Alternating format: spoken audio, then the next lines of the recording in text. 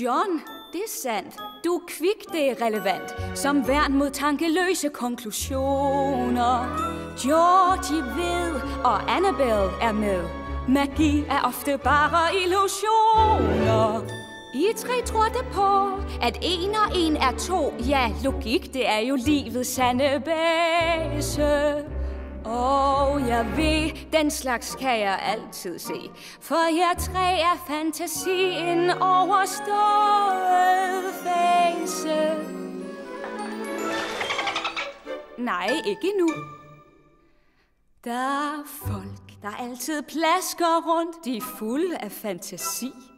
De tager på ferie året rundt, men kun i fantasien.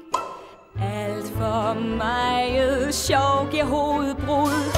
Skæg, ballade, det skal skylles ud. Der er dem, der altid smiler stort og fniser hele dagen. Ser verden som et spritnyt legetøj.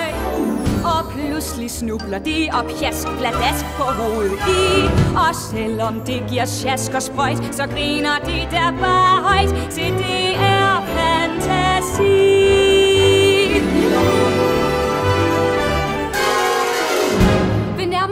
eftertanke har I måske ret Det giver ikke mening at tage bad så tidligt Vent, jeg vil altså gerne i bad.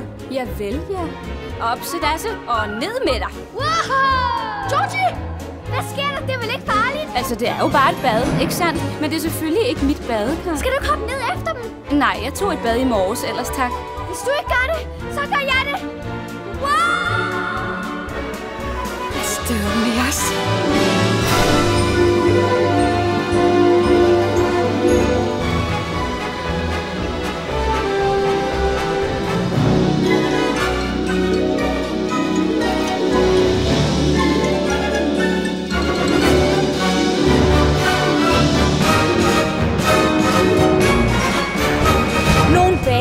Et fingerbøl, se det er fantasi. Og svømmer rundt i sokkeøl, fy føj for en fantasi.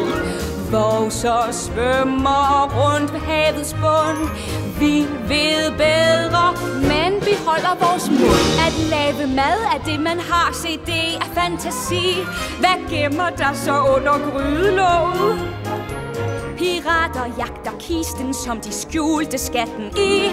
De må have guldet hjem igen. De nægter at blive voksne mænd. Se, det er fantasi.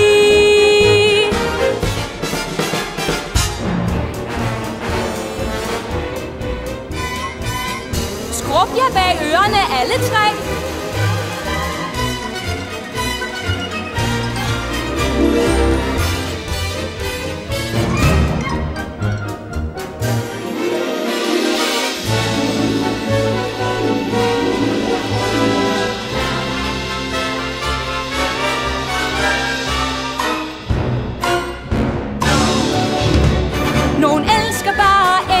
Eventyr, se det er fantasi. Sæt kurs mod pjank og fabeldyr, se det er fantasi.